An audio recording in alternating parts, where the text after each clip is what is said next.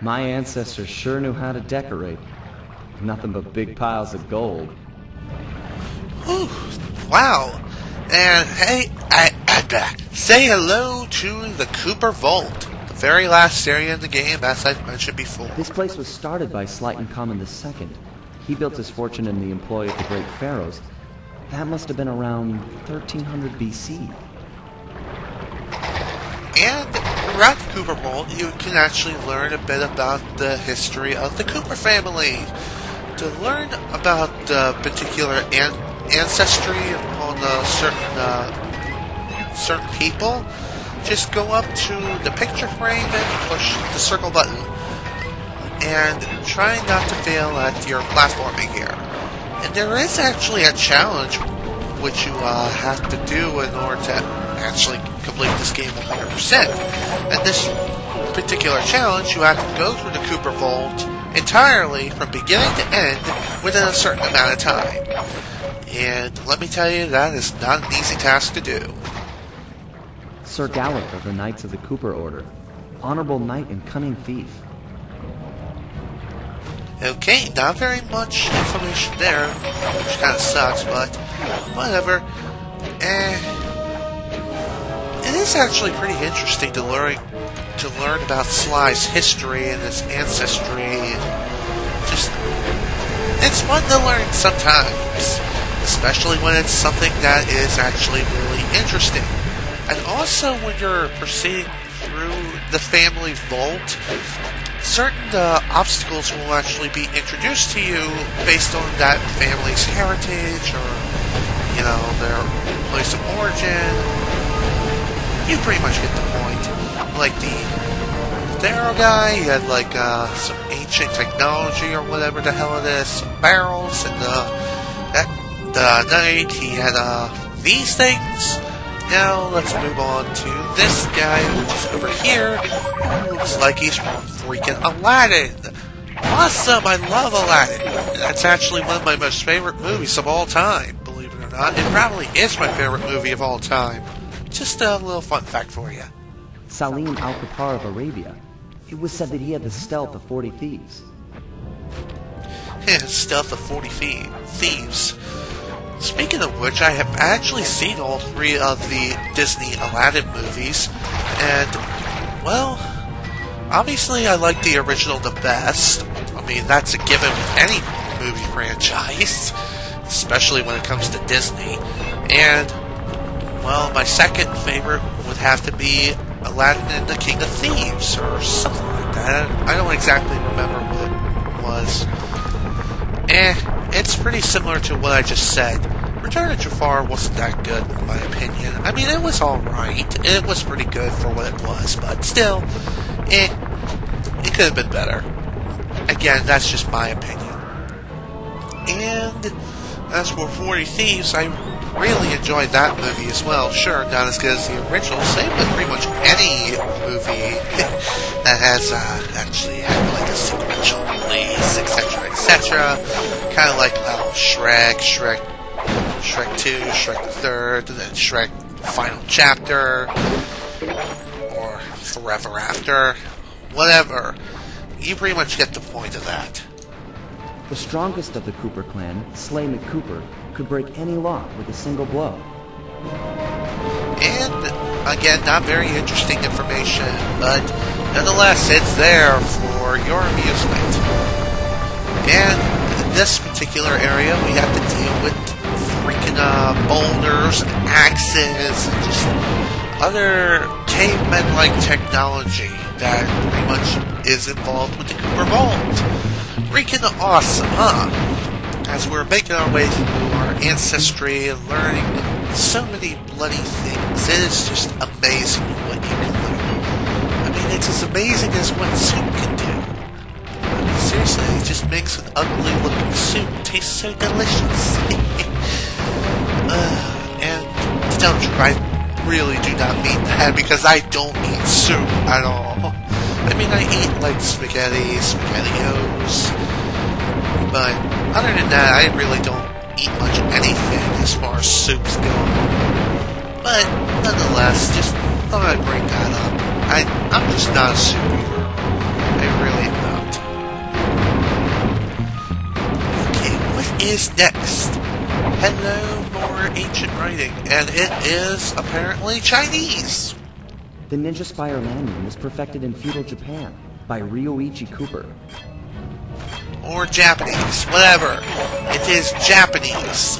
Sorry for the confusion, but whatever. Anyways, to make our way through here, we just uh, have to jump on these uh, jump on these swords as we are making our way through. And once the sword sparks, that means that the sword is going to be placed away, and that is when you need to make your move. Oh shoot! Somehow the button didn't register, and I fell again like an idiot. Let's actually wait a couple seconds before proceeding, and... Okay, let's try this once again. I wonder, do I have to start over again if I die? I really, really do not want to find out. Also, along the way, you can actually score quite a bit of money just making your run through the Cooper Vault, so I guess this is another place where you can, uh, whoa, hello, somehow I didn't make it all the way over. But, whatever. At least now, at least now I'm actually safe for now. And, as I was going to say, this is actually a pretty good place to farm coins if you happen to run low on coins or whatever, but I still prefer to do the pirate ship thing with Dead Men Tell No Tales from the last episode. So, yeah. Pirating is more fun and actually a lot more profitable, so just keep this in mind too. Henriette One Eye Cooper sailed the seas and stole from pirates. Guess I really take after her. Interesting.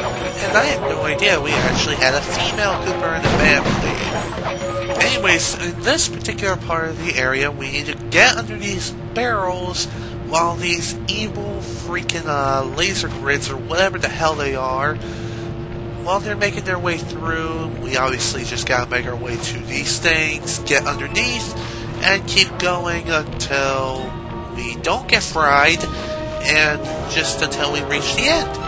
Simple as that. Now more money, because I like stealing money from my own family. Not really. But still, it's a Sly Cooper game and no one gives a damn.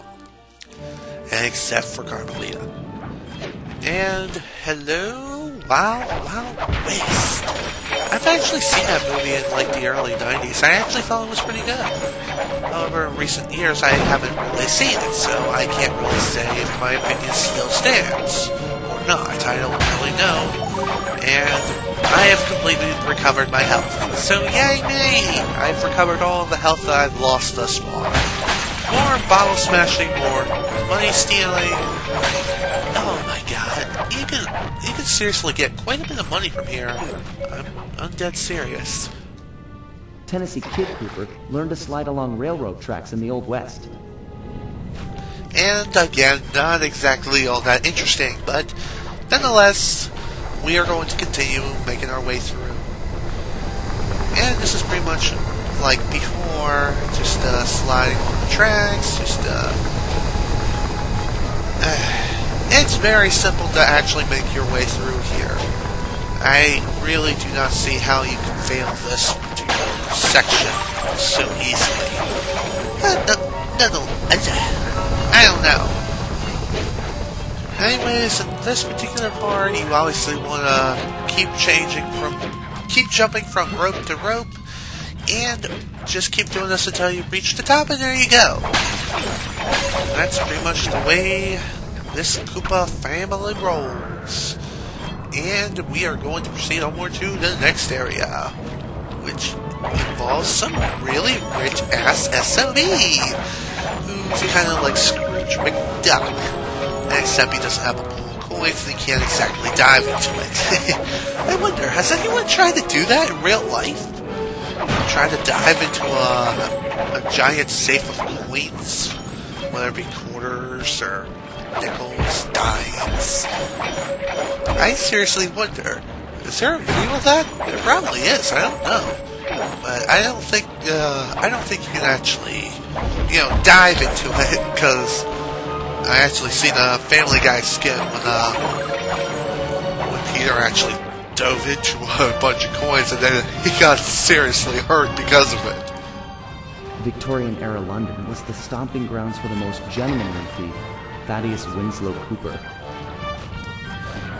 I wasn't really paying attention to that, but it seemed pretty interesting, but whatever. Who really cares? Let's proceed. And in order to actually proceed onward, you do have to actually learn about your ancestry in order to continue. As I've already mentioned, why did I repeat myself again? I don't know. Have such a bad tendency to repeat myself. Serious, it's just that bloody bad. Now for more evil hammers and death. Oh man, this is not to be fun. For this particular part, we have to make our way up these hammers. And honestly, let's not get crushed like that. Obviously, jumping too early will just it'll result in you getting crushed. If you jump too late, then the hammer will swing, and I think you will be thrown off. So just thought I'd bring that up right now. And there we are. We're already in the next particular, the next part of the family vault. And I'm not going to risk those two points because they are not worth it. And I got my health back. Yay! And I'm robbing more of the Cooper family. Awesome. Besides being a thief, Otto von Cooper was a great fighter ace and mechanic. Again, very interesting. Because we kind of reenacted all of the family's ancestry throughout all three of the Sly Cooper games thus far. I'm not sure about Thieves in Time because I have not played that game yet, and I have no idea when it's supposed to come out. When it does, I am definitely going to be getting that game. I just don't know when when it is supposed to come out. And as far as Let's Plays go, I probably will do a Let's Play of the game, but not until after I actually complete the game myself first. At least the main game. And it probably won't be until like a couple months down the road anyway upon the game's release. And... Alrighty, we are now at the very last part of the vault. And... Oddly enough, it's our father's. So that's pretty interesting. This must be my father's work. How am I supposed to get through this thing? He made this challenge for a move I've never learned. There's nothing like this in the Thievius Raccoonus. Come on, Dad. Help me out here. Seriously? What the hell am I supposed to do? How the hell am I supposed to get across there? I mean, it's glowing blue, which is kind of odd. That means that it's kind of glidable. And I also find it interesting that, uh, you know, we still can't see Sly's dad's face. kind of sucks, but, eh. Wait, eh, video game logic, I guess. thieving opportunity? You gotta be kidding me. If you actually stand here long enough, you'll actually get some additional dialogue, so just thought I'd bring that up right now, and I guess I'll stand here until I get all the dialogue I need. Okay, so what is next? Uh, I mean, it is thieving opportunity. I get it. I can slide on the laser beams. Dad, you old rascal.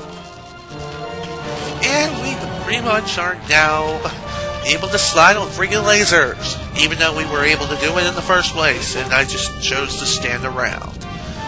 Also, you cannot walk on laser beams, but you sure as hell can slide on them, which I find incredibly odd. How can you slide on Nice laser beams?